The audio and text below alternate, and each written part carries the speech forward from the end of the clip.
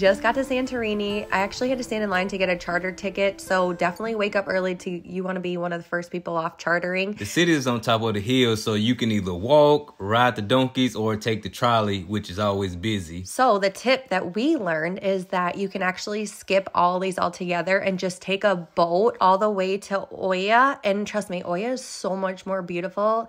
And I think the cost was like $40. What's so awesome is that you don't have to wait in line and you go right to where like the churches with the blue domes are and that's really where everything that you want to see is. The only thing is is we did actually have to wait for the boat. Yeah, that sucked, but they come every hour on hour, so we just have to wait it out. It's actually a really pretty boat ride and then we made friends, which was so cool and they told us, you know, good restaurants to eat at. The water here is super blue. This is a very very beautiful place to visit, but just know that it's super small. And as you will see, there's going to be a lot of crowds. So I feel like because we took the boat to Oia, we did miss a lot of crowds in the morning. Also, it's really, really, really hot. Like, how hot was it, babe? It was, you almost passed out. That's how hot it was. yeah. Once you actually get to Oia, you do have to walk up a super high hill to meet the buses that actually take you up all the way to the top. And we're going to be meeting our photographer and they're going to be taking a picture in the red flying dress. There's a whole bunch of companies that actually do this. I did find the one we went with on Instagram and they had really good reviews. Since we were on the cruise, we were really limited on the time frames that we could choose to do the photo shoot and they don't actually recommend the time we did because it is so hot. I'm not joking, but either way, I'm really really glad that we did this option. It was just a cool way to experience skin Feel the warmth from deep within. Every day is a brand new start With a song in my heart. Smiling faces all around. Love is in the air I found In this world so bright and true. I'm feeling beautiful, how about you?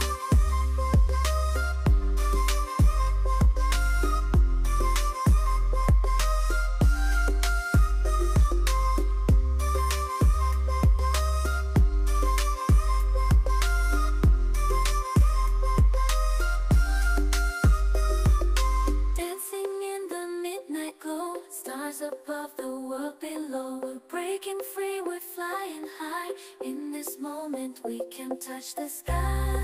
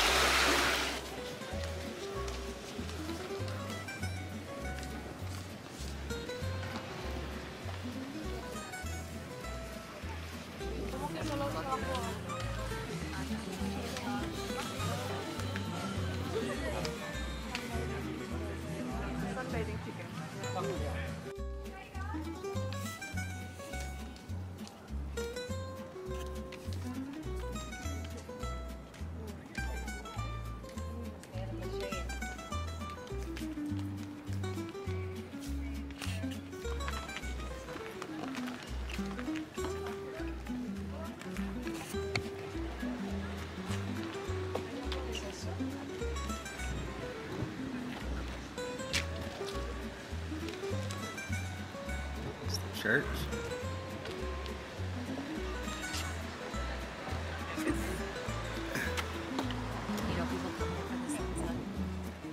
Here?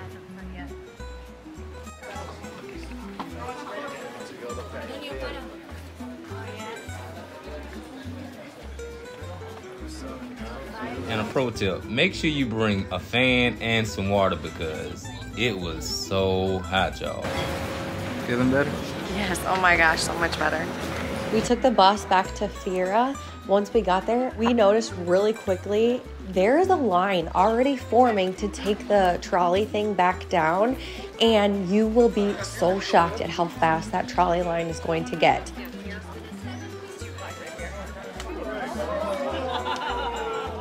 So my biggest tip for you is either go back early and take that trolley down or get in line right away because I'm telling you, I watched somewhere else where they said, "Oh, go to a restaurant, the trolley line's going to go down." It did not. We went to the restaurant thinking, "Oh, this trolley line's going to go down."